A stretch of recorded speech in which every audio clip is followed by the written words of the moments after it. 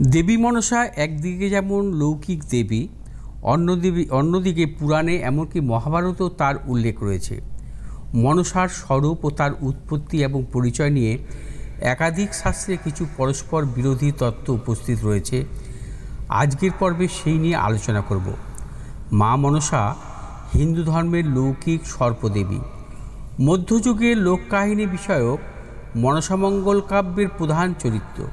সর্পদেবী হিসেবে মনসার প্রথম উল্লেখ পাওয়া যায় হিন্দু ধর্মগ্রন্থ অথর্ববেদে। পুরাণে তাকে ঋষি কাশ্যপ ও নাগজননী কদ্রুর কন্যা বলা হয়েছে। পুরাণ অনুসারে শিব বিষপান করলে মনসা তাকে রক্ষা করেন, সেই থেকে তিনি বিশ্বহরি নামে পরিচিতা হন। মনসা মঙ্গল কাব্যে তাকে শিবের কন্যা বলা হলেও পুরাণ অনুসারে তিনি ঋষি কাশ্যপের কন্যা। পুরাকালে সর্প সরীসৃপদের মধ্যে কলহ শুরু করলে কাশ্যপ তার মন থেকে মনসার জন্ম দেন। ব্রহ্মা তাকে সর্প ও সরীসৃপদের দেবী করে দেন। মনসা মন্ত্রবলে বিশ্বের উপর নিজ কর্তৃত্ব স্থাপন করেন। শিব তাকে কৃষ্ণ আরাধনার উপদেশ দেন। মনসা কৃষ্ণের আরাধনা করলে কৃষ্ণ তাকে তুষ্ট হয়ে তাকে সিদ্ধি প্রদান করেন এবং প্রথামতে তার পুজো শুরু করে মর্তলোকে তাকে দেবীত্ব প্রতিষ্ঠা করেন। মহাভারতে মনসার বিয়ের উল্লেখ রয়েছে।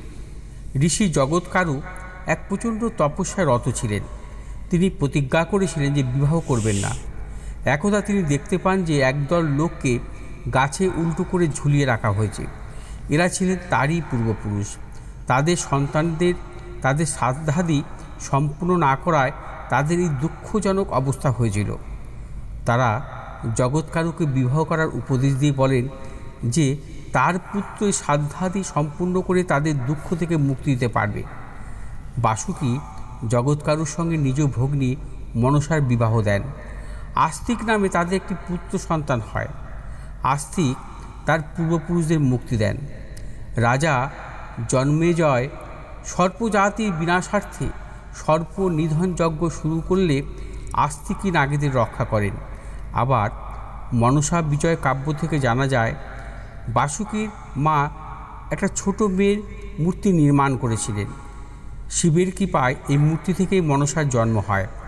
পরবর্তীতে বাসুকী তাকে নিজ ভগ্নিরূপে গ্রহণ করেন। বাসুকী তার কাছে গচ্ছিত বিষের ভাণ্ডার মনসাকে দেন, যা পরবর্তীতে মনসার শক্তির উৎস হয়ে ওঠে।